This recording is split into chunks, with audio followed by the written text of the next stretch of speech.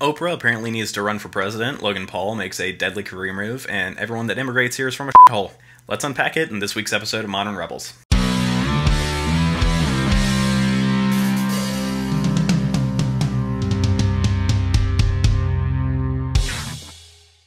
Okay, so welcome to episode number one of Modern Rebels. I'm Adam, and I'll be your host. So basically, we're just going to talk about the events of the past week and kind of mull through them. So let's go. So from Monday, Oprah gave a speech at the Golden Globes after receiving a Lifetime Achievement Award, which honestly she does deserve. Let's let's be honest there. She's probably the most famous woman in media. She's come from really humble beginnings, so good for her. I'm glad that she's got it. That being said, it was filled with a whole bunch of leftist garbage. From that leftist garbage, there's really one clip that stands out to me, and I'll go ahead and play it for you here. Which brings me to this. What I know for sure is that speaking your truth is the most powerful tool we all have.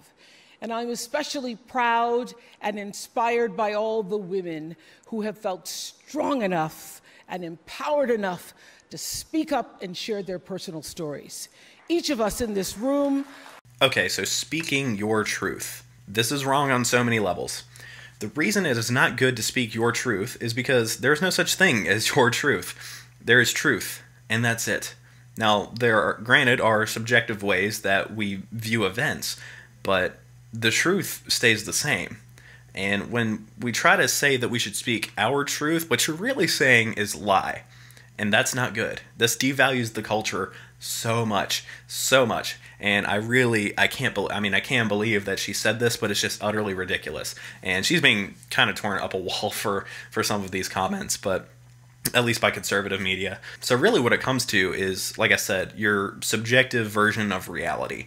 And that is not necessarily what the truth is each of us can view an event in a different way, a different light, but that's not necessarily going to reflect what the truth is and what really happened. And so we can kind of see this in these kangaroo courts on college campuses where women can come up and say, "Oh, he raped me," and there's no due process for these men in these kangaroo courts. So they end up getting kicked out of school when in reality they didn't even touch these women.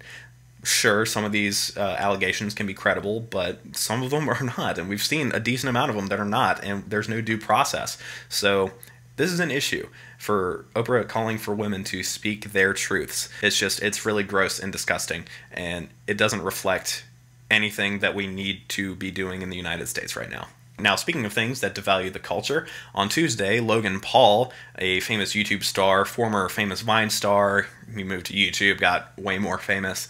Um, his main platform is to kids under 12. He posted a video on YouTube, uh, one of his daily vlogs of him and his friends going into the Japanese suicide forest, where it's very well known that people go in there to commit suicide all the time. So they go in and they actually find a dead body and they film it and then proceed to joke about it, laugh about it, and put it on YouTube. And then YouTube put it at number 10 on trending. So millions of people saw this, and then there was finally a backlash about it, and Logan Paul ended up taking it down and apologizing. Now, there are a lot of people that are calling for his channel to be either removed from him completely or his YouTube Red series completely removed from him. I don't know necessarily how I feel about all of that. The argument for removing his channel from him is about how he's actually committed three different strikes against the YouTube guidelines, and so he should have his channel taken away from him. But YouTube never gave him those strikes. I can see the validity in that argument. I don't know about you know taking his YouTube Red series away from him. This is a, obviously a gross mistake, and I'll play the clip for you because I, I think it shows a lot about the character of Logan Paul and and how he's just not a good person. But that being said, I don't think YouTube's actually taking away his YouTube Red stuff. I think they're going to kind of simmer on it for a little bit. But here's the clips that I think are just really disgusting and display how him and his friends are just really not good people. Um, I really hate to say this. I think there's someone hanging right there. Oh Excuse me?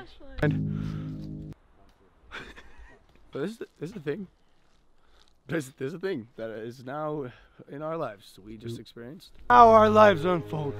There's no going back. I've seen things I can't unsee. We found a dead body. Yup!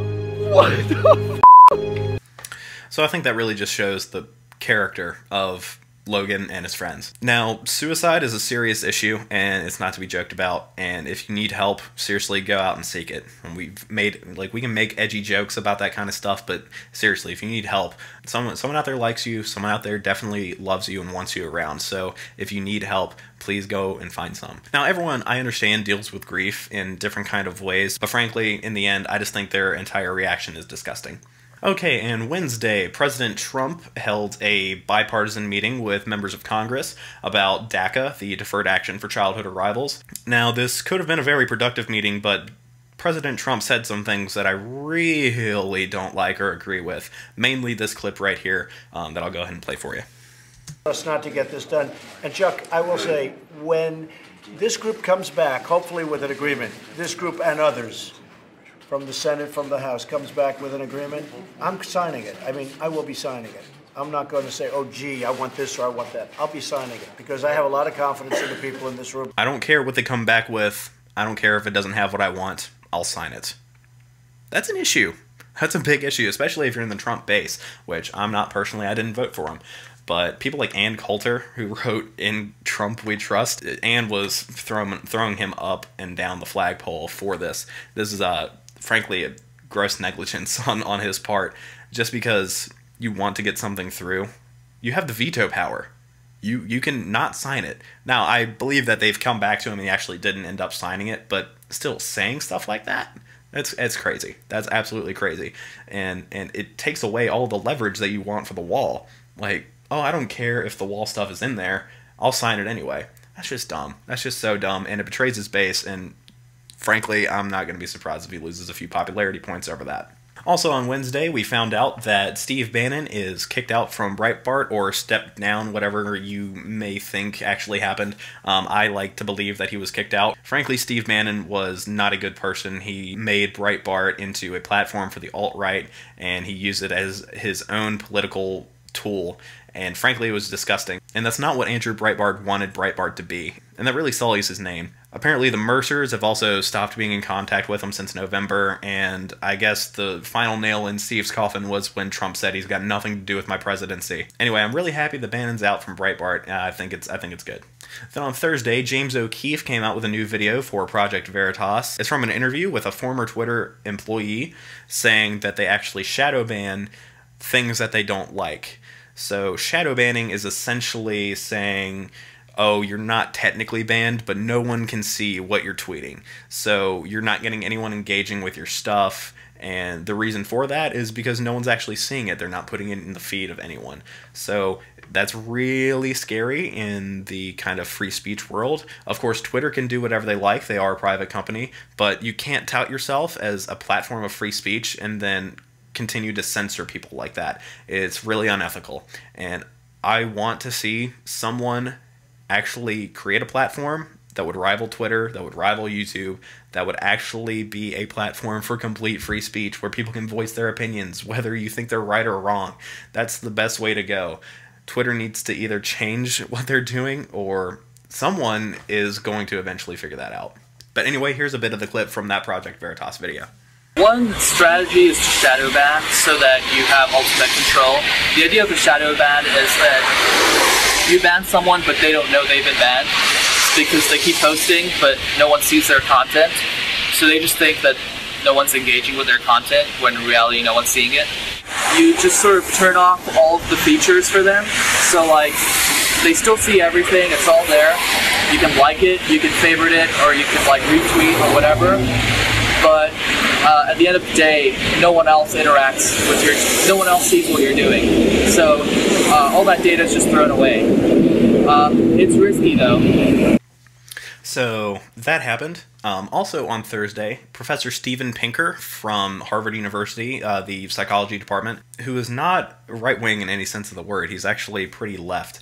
But he came out in a panel and said that if people don't hear facts on college campuses, and we stifle those facts, then when they hear them, they could be turned to the alt right radicalism.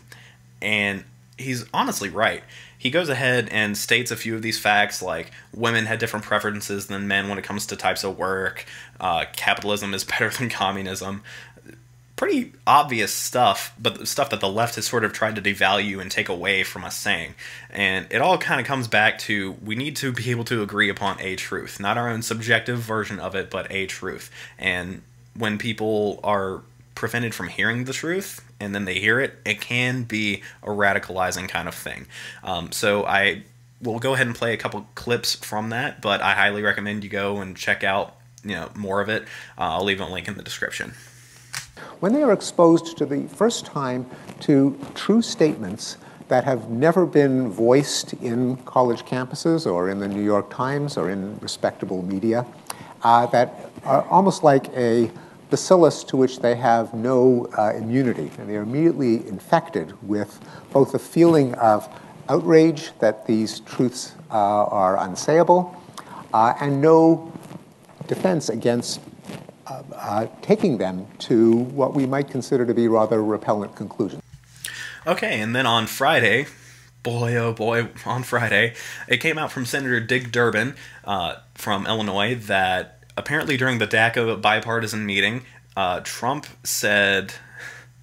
Trump said, Why do we have so many people immigrating here from shithole countries? Now, if Trump said this, it's not good regardless of what way you want to interpret it, if he said it, it is not good, not good, not presidential, and it's and it, it's disgusting.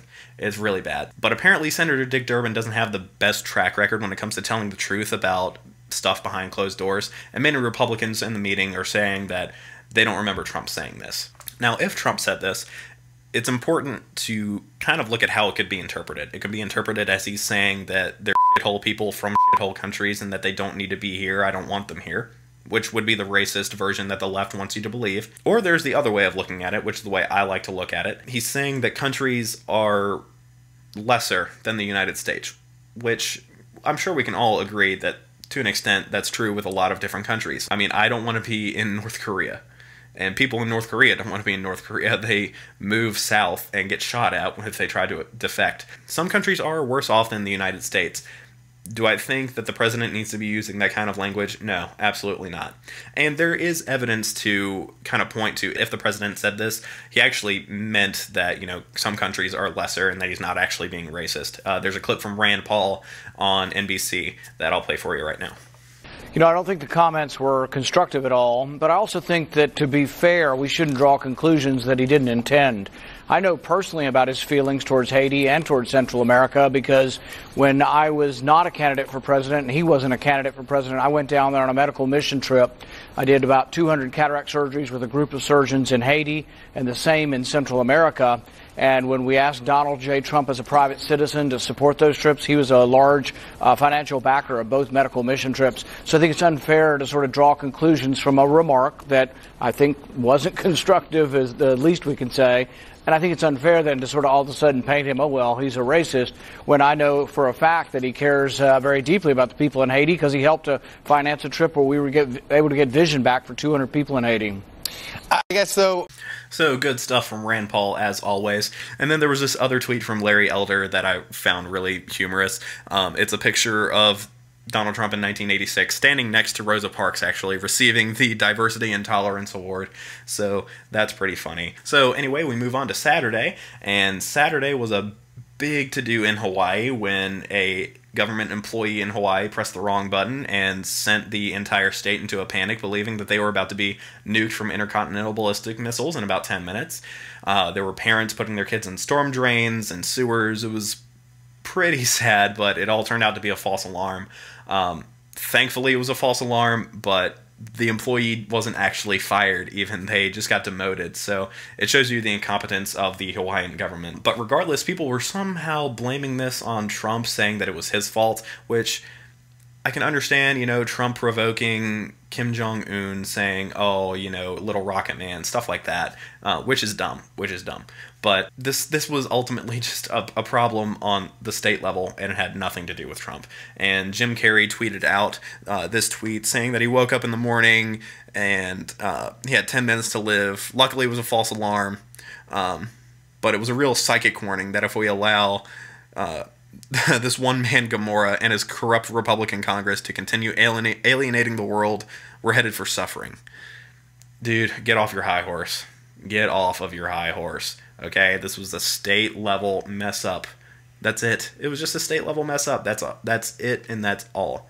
So Frankly, I think the man should have been fired for doing that big of a mess up. But yeah, ultimately, it wasn't Trump's fault. Okay, and then finally we come to Sunday. So the Wall Street Journal put out an article saying that Trump said he was in good relations with Kim Jong un. And then the White House came out with a clip of the same interview saying that that Trump never actually said that he was friendly with Kim Jong Un. He said he would be friendly with Kim Jong Un. So I'll go ahead and play that clip and let you guys be the judge. But frankly, I think it's a case of the Mandela effect where it's kind of hard to tell. I lean to the side of it of him saying, you know, I would be instead of I am. But once again, you guys can draw your own conclusion on that. As you know, I have a great relationship with Prime Minister Abe, Japan. Uh, and I probably have a very good relationship with Kim Jong Un of North Korea. And I probably have a good relationship, and I'd probably have a good relationship. When you take a look at the linguistics of it, it's kind of hard to tell.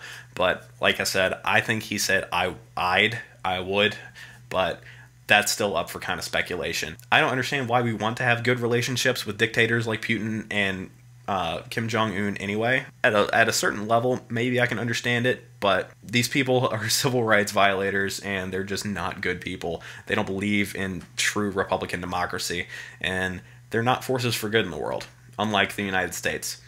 But anyway, that's this week in a recap. So uh, we'll see you guys next week. You can follow us on Facebook and Twitter at the Modern Rebels Podcast or on YouTube. Please go ahead and subscribe. Make sure you like and comment and stuff like that. Uh, we really appreciate it. And uh, I believe that's it. So we'll see you guys next week. Bye.